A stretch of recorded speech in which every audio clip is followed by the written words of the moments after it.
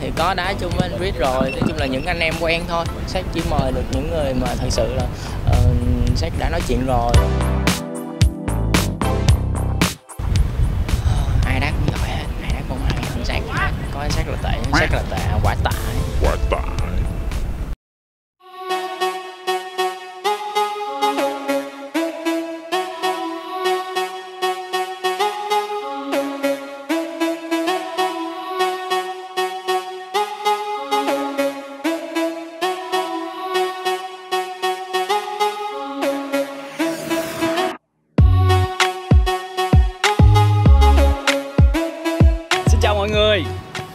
ra trong trận đấu này thì chắc chắn ờ, phía đội ờ, đội của mình á, tạm gọi đội đội của mình khó thắng được đội của các ngôi sao.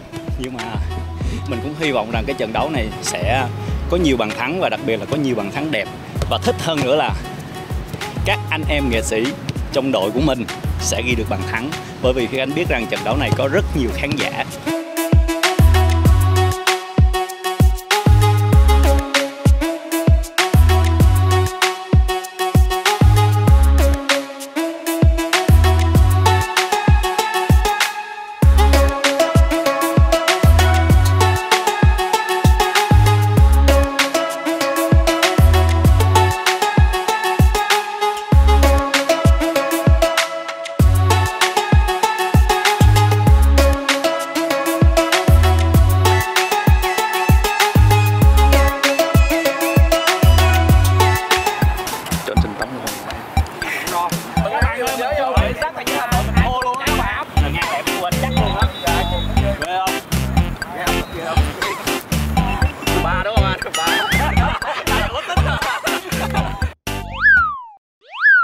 his name is John C.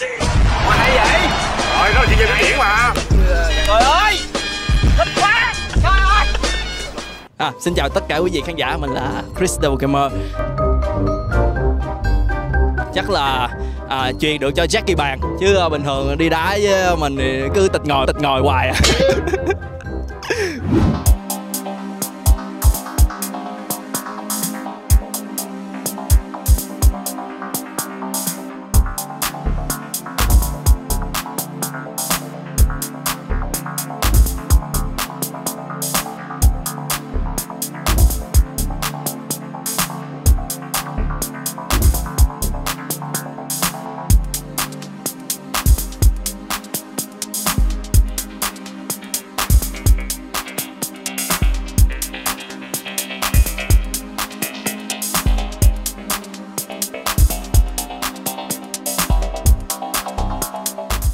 sau cái mùa lũ vừa rồi thì tất cả anh em nghệ sĩ ờ, cũng ờ, đều rất, gọi là, háo hức để mà có ngày có một trận bóng thứ nhất rèn luyện sức khỏe.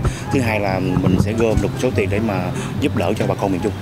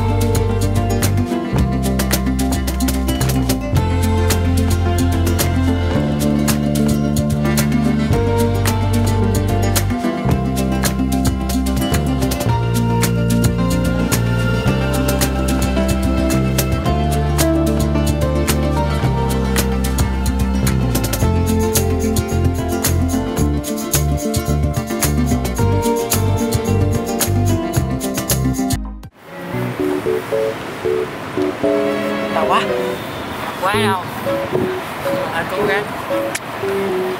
Các bạn ơi, các bạn ơi, à, hãy nhớ là theo dõi trận đấu ngày 11 tháng 11 nha Để mà chúng ta à, à, đóng góp được à, một phần công sức nho nhỏ để à, giúp đỡ bà con ở miền Trung nhé. Và lời cuối cùng Huy Khánh hy vọng rằng à, tất cả quý vị khán giả, người hâm mộ bóng đá, người hâm mộ điện ảnh cũng giống như là hâm mộ nghệ thuật của nước nhà hãy đến xem trận bóng được diễn ra vào lúc 19 giờ ngày 11 tháng 11 và hy vọng có thật nhiều khán giả để có thêm nhiều động lực cho các cầu thủ của hai đội à, đá thật tốt và hy vọng rằng có thêm nhiều à, tiền để đội bóng của chúng tôi làm việc thiện nguyện tốt hơn. Ok, cùng nhau đón xem trận đấu ngày 11 tháng 11 2020 nha vào lúc 7 giờ tối.